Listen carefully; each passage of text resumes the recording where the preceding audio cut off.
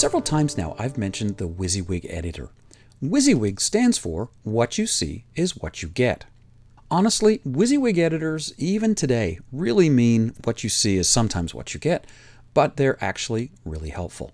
I'm going to change this to full HTML, and this will give us an idea of what's available to us using the WYSIWYG editor. In Drupal, that's CKEditor. It comes with Drupal core. It's turned on by default. And the nice thing is it's actually really configurable. Well, let's take a quick peek. Welcome to our site. Go ahead and highlight that. Change that from normal to heading 2. And you'll see that Drupal gives us a representation of what that's going to look like. This is all determined by your theme and the cascading style sheets or CSS that your theme gives you. If I add a new line of text here, editing Drupal nodes is really fun. Once again, I can highlight that, turn off the italics, and I can create a link out of that text. We'll say http drupal.org and open it in a new window. You'll note it's represented by blue text and an underline when I hover. Once again, your theme manages the look and feel of those kinds of things. I can also unlink it by highlighting the text and clicking the unlink. To undo a change on a Mac, it's Command Z.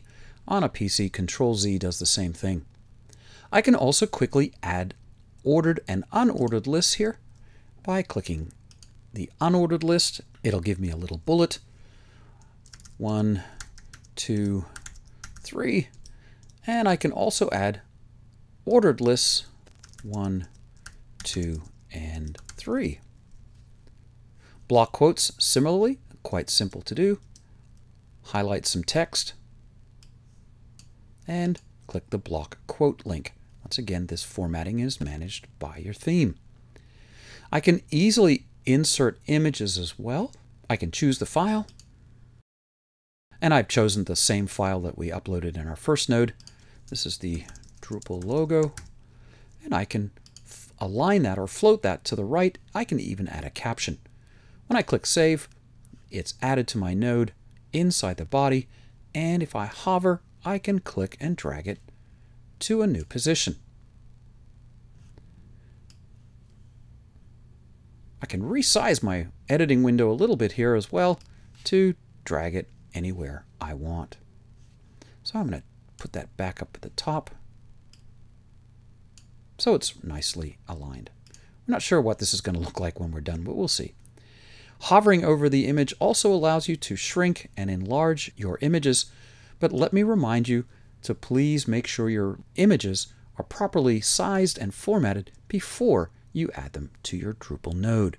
That just helps a lot with people who might not have the bandwidth that you do.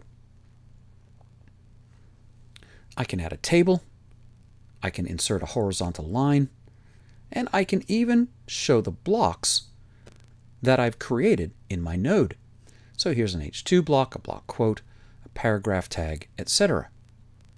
And of course, if you know HTML, you can view the source and look at what's going on. Once again, I encourage you to explore each of these as we go. Now, we've turned our full HTML on, if I change this to basic HTML, it's going to warn me that there's going to be content potentially lost and permanently deleted.